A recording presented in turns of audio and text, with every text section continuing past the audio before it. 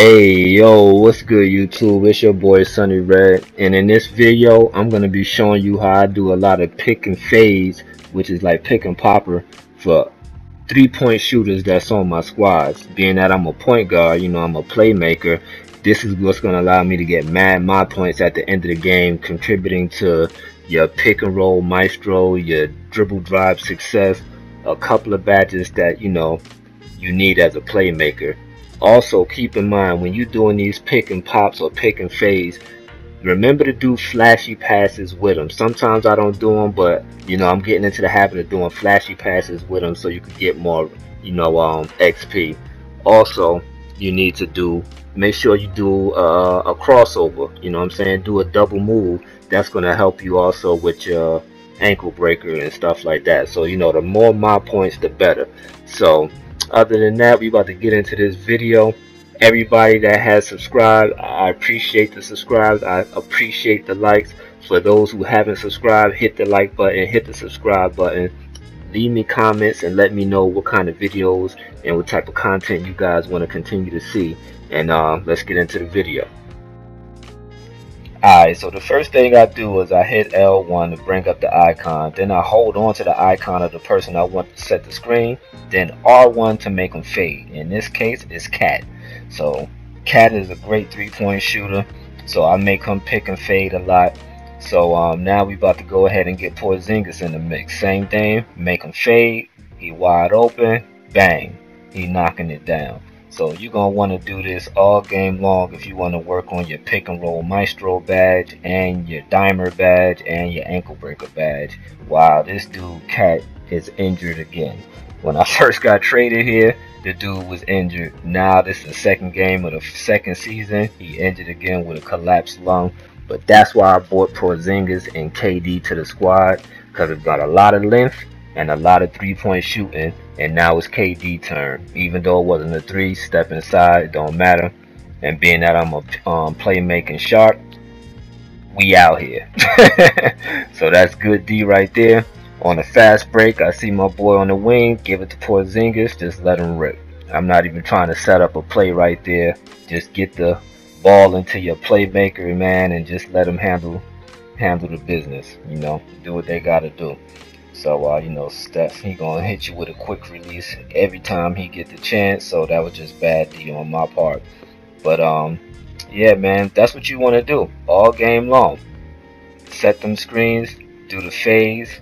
Get K KD is hot. Well, I'm not gonna use him. See, he's so hot. They stayed on him. I just went ahead and hit him with a little acrobatic layup. So, uh, they paying attention right now. They starting to pay attention to who's getting the rock the most. Now they follow me. You just dump it off to KD, let them bang. so it's just that simple, man. This is how you work on a couple of badges at one time. I think right here I actually ran a play. I seen him on the down screen. Boom. Knocks it down. Okogie. I don't even know who that is. Some dude that's on the bench on my squad. Jimmy Butler left. I was hoping Jimmy Butler stayed so he could play the two. And he's a great two-way player. He got good defense, but he bounced so now they got uh some dude named Okogie, and um, Wiggins comes off the bench also. But yeah, right there you see I lost the ball, but I had 10 seconds left.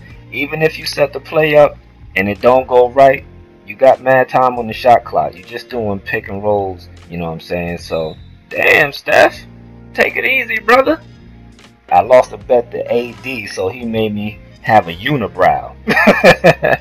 so before the half, if you don't want to do the pick and fade, you want to keep it yourself, let them set the screen, bang. That's it, man. So you always going to have options. You can either do pick and fades or if you're a three-point shooter. And really, I probably need to be doing a lot of three-point shooting mad consistently, but um, I need to do them from limitless range because you do it from limitless range, you get way more my points also. But the thing is, my incentives, I got to at least get 12 as they leave me wide open again. Hit them with a little Euro step acrobat. You get mad points for Euros and acrobats and stuff like that. And floaters. So like I said, read that defense. If they leave you open, just go ahead and hit them. If they collapse like right there, dish it out to your playmaker. But uh, yeah, like I was saying, I got incentives that I got at least hit 12 assists a game. So really, I just be trying to get my assists out the way Once I hit 12, then that's when I start scoring. You know, I start doing my thing from limitless range, just a little slide over, see the screen, pop. That's it. Do do what Steph be doing to you. You know what I'm saying? Steph don't need a whole lot of room. so I just be doing the same thing. If I set a screen, I just try to move around the screen sometime and just and just hit that three myself, knock it down myself. Cause what I noticed is if the defender is behind you on on this game, you open. If he just standing next to you, you open. It's always gonna say wide open. So you might as well just go ahead and shoot the shot if you got a good uh, if you're a three point shooter, a sharp shooter. Well, you know, shot creators they can shoot threes too. So you just got to take advantage of those situations, man. Just read the defense, um, know what you're trying to do. Boom, look at this right here. You're not supposed to do what I'm about to do, which is dunk. But um, hey, I've been flaming up a lot when it comes to my floaters this year and my layups, man. So I just went ahead and just got the easy two, even though I didn't need it. But in that situation, man, fast break, don't do what I just did. Go ahead, do your floaters, and do your um, you know, your acrobatic layups. So that's it, man. That's it for the video. Hope y'all enjoyed it, man. Like the video, comment on the video, subscribe if you haven't subscribed already. I thank you guys for your support, the love y'all been showing. And um, what you want to do is pay attention to how much points I got on my pick and roll, maestro, and my dribble drive success. So once you see how much I got, that's what's going to show you like, yo, you need to be doing this a lot. It's going to help you rep up fast. It's going to help you get your badges way quicker. So, you know, I only got three um takeover meters. I got I need to do more alley oops too. Look at the assists. 21, you got 3200. You know what I'm saying? So perimeter shots, I need to do more. I dodged 10, 2300.